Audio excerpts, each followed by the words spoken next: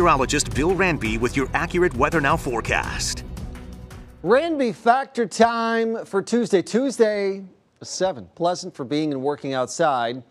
Not as good as today. That was a 9.5.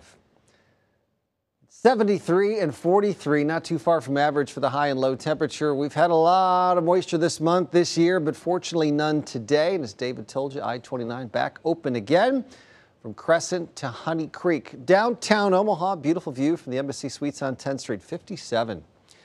Dew point 47, not as low as last night, and there's a breeze, so the temperature won't fall back quite so far. Although it's already down to 48 in Norfolk, 50 in Carroll, but still 62 in Fremont. That is super Doppler 7 radar. That is ground clutter. There's no precipitation. There are no clouds. Eastern Nebraska, western Iowa, and all is quiet across the entire Midwest. Just a few clouds coming into South Dakota.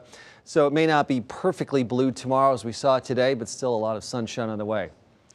GFS computer model has us dry through Wednesday, maybe a couple sprinkles near or southeast of us, but then uh, about a quarter of an inch of moisture on Thursday, a little bit more early Friday morning, and then that's it for us. But north, a lot of moisture and a lot of that snow.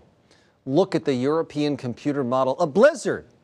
Northwest Nebraska, eastern Wyoming, South Dakota, North Dakota, no snow here but still, quite a change is coming. Look at that overnight tonight into the upper 40s tomorrow. Again, mostly sunny skies and temperatures reaching the lower 70s. Here's our storm predictor, mostly clear right now.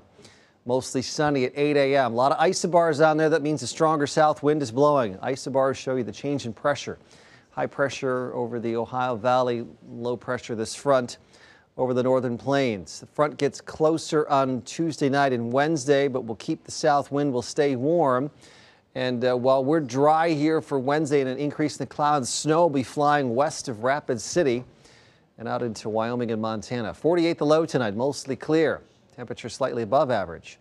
Clear skies at 7 a.m., sunshine at noontime, 4 o'clock 72. Strong south and southeast wind.